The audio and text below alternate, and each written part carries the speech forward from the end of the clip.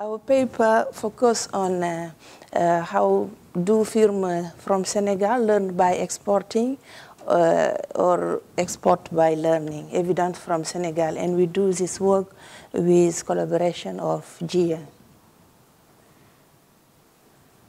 Okay.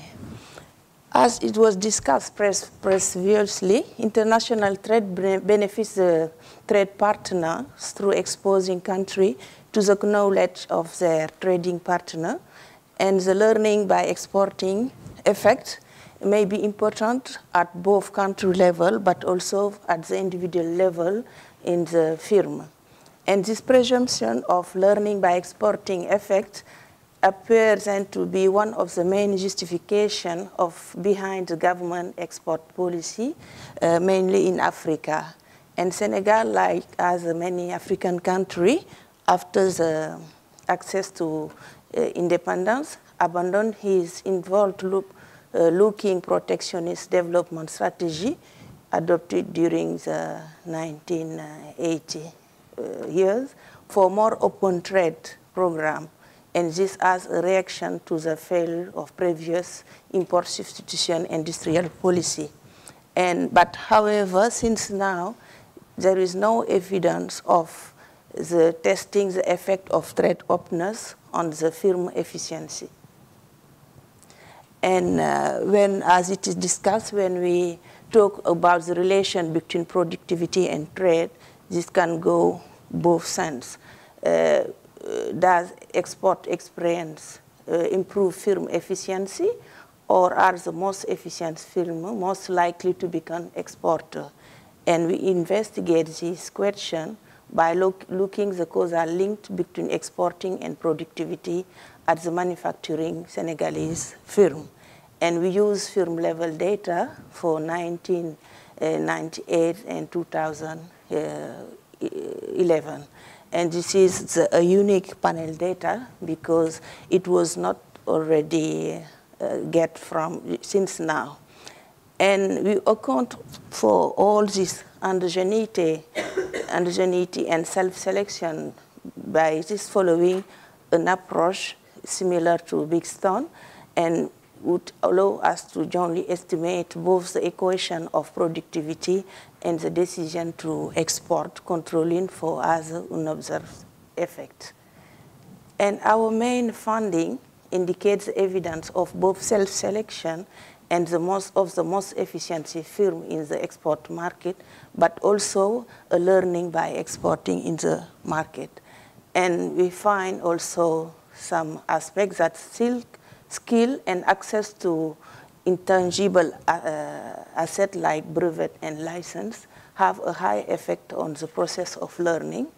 And also foreign owned firm learn more from exporting as well also firm, small firm seem to learn particularly from exporting.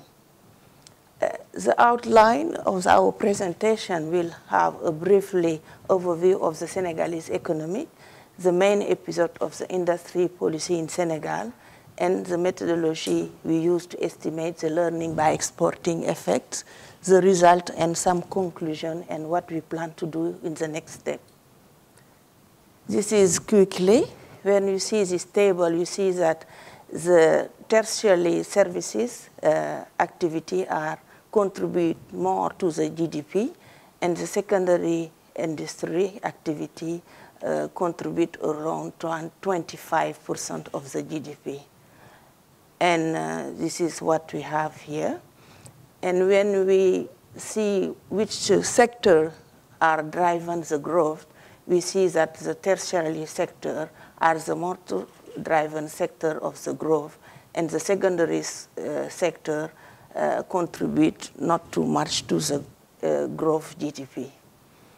And when we focus to the industry in Senegal, we see that the most uh, activity are on food industry, followed by uh, the mechanical uh, industry, and textile, who occupied a big uh, place in the Senegalese uh, economy, lost plus uh, by the years, because of the independence, it was most industry, textile industry, but after it became, uh, it have a low contribution.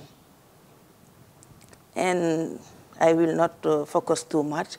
What we can learn about the uh, politis, uh, political industry in Senegal that it become by protectionism with higher tariff and non-tariff protection for industry and this to boost firm for exporting.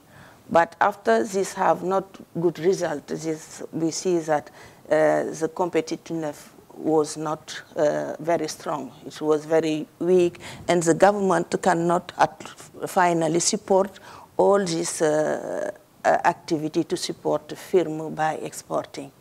And after this, with adjustment structural policy, we see there is uh, more difficulty for firm to survival, and there is many was closed, and there is many loss of employment at the firm, industry firm level, manufacturing. And after the 2000 uh, years, we see that there is more organization policy in Senegal, and this there is, you can see this, there is many agency was created by the government to support uh, the development of the firm, uh, particularly to push them to export. And how we deal to analyze the relation between exporting and productivity, we take account the fact that most of the common problem which when testing the effect of uh, exporting is endogeneity and sample selection basis. And because of this, uh, we use this original uh, approach uh, dealing with this.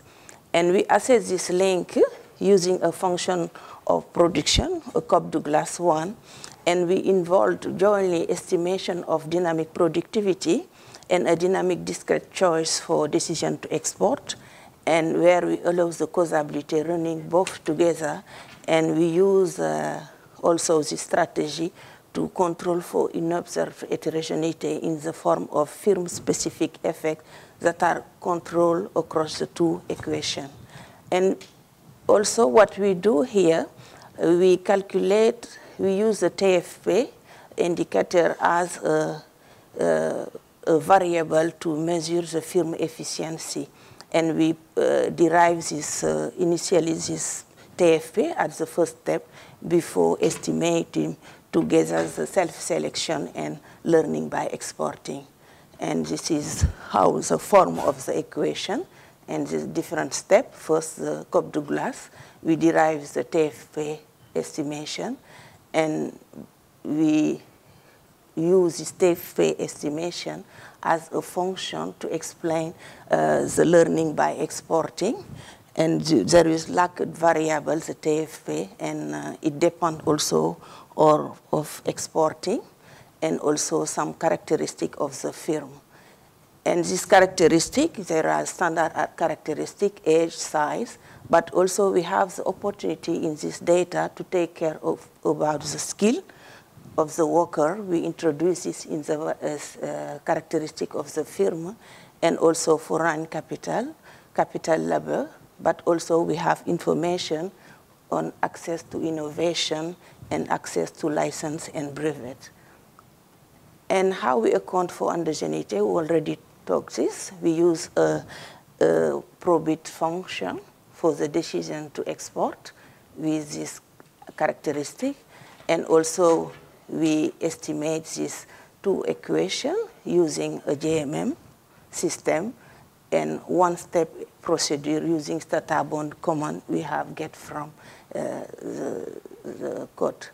And we use also unbalanced panel data to account for the movement of entry and exit of the film in the exporting market because just now we'll show the data and we'll see that this movement and exit and entry is very important in the data we have. I think I already tell you. In the second step, what is you only do? And also this data, just have a look.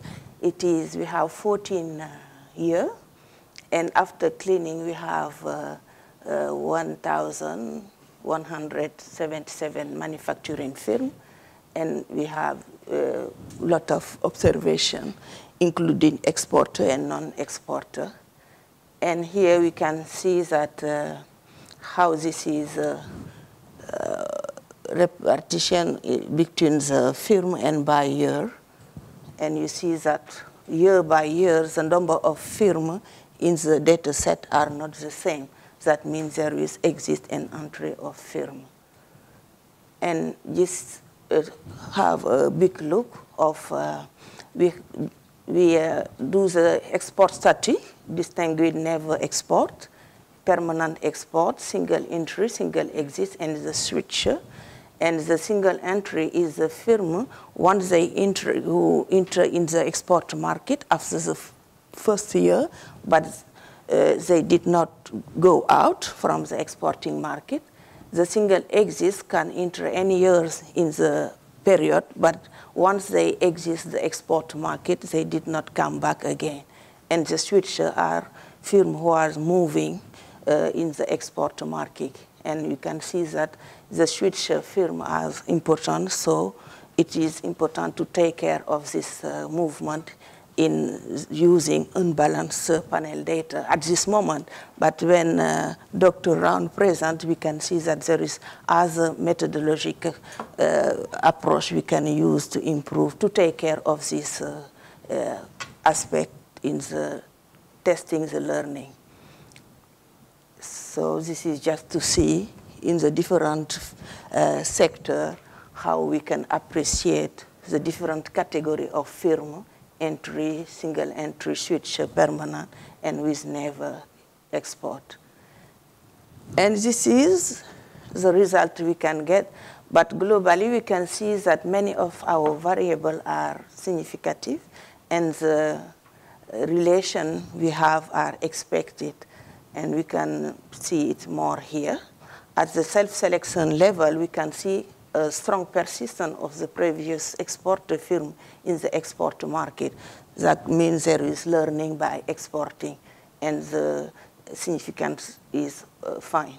We can see also that the coefficient on lagged export study variable is positive, and meaning that high and highly significant.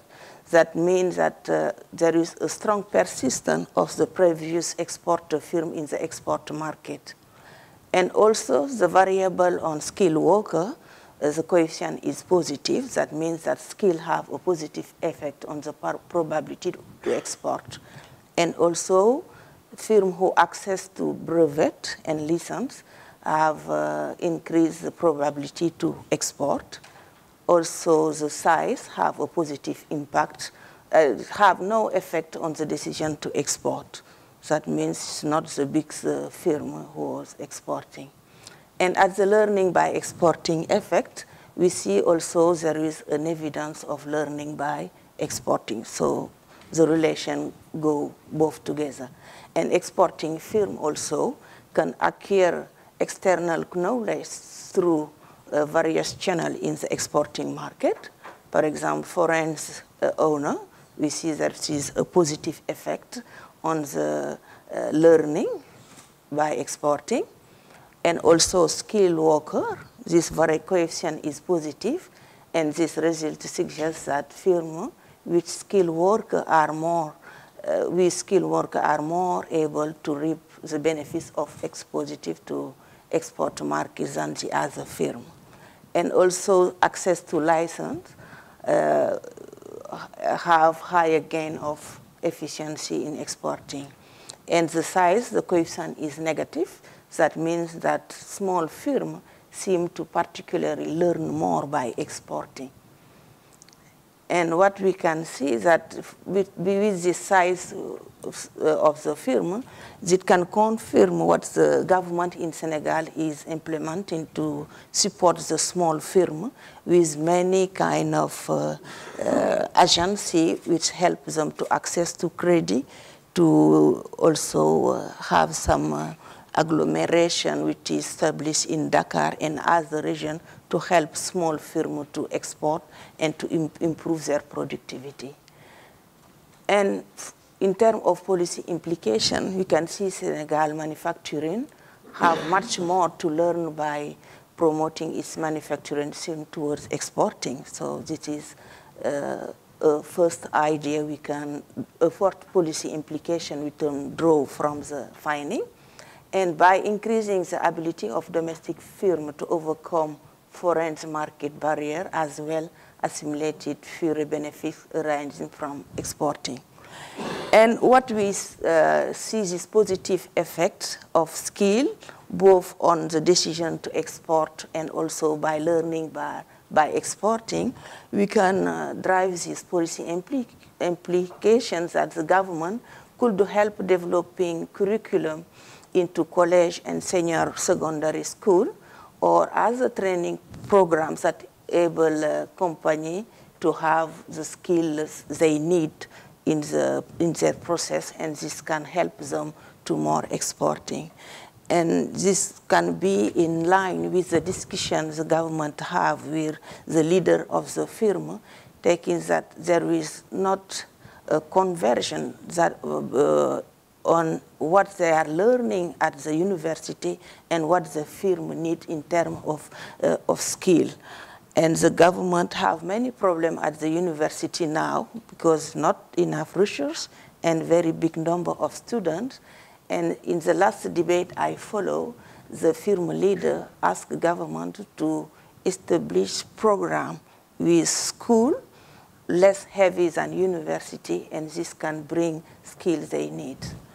And also in terms of access of brevet, there we have in Senegal some uh, uh, we have some uh, society or some uh, department of the ministry who take care of license in terms of uh, in the agro-industry sector, but still now there is difficulty for small firms to access to brevet and license. And we think that government maybe have, can have some strategy to facilitate access to brevet or, and license to small firm and maybe uh, give some subsidy to access to this. And finally, also, we have, there is support to favor to the small and medium firm uh, to strengthen their productivity gain on the external market. And the initiative already under, understanding favor to the small plant might be continued by the government or almost it can go further for this to help a small firm to improve their, to avoid barrier to uh, access to export, uh, exporting and to improve their productivity. Uh, in the next step, we plan, GN and me, to revisit the TFP estimation because at this moment, uh, estimating the TFP, we deflate the TFP, but we use the indice of deflator at the uh, global level. But we, are, we know that we might do it at the sectorial level, and maybe this can improve the estimation. And we also uh, plan to use as approach testing the learning by exporting, like propensity score matching. Just this is just an exercise of uh, uh, sensibility analysis, and when we do it, we can see if uh, the result will change or it will be confirmed. This is just a methodological way to do. Thank you very much.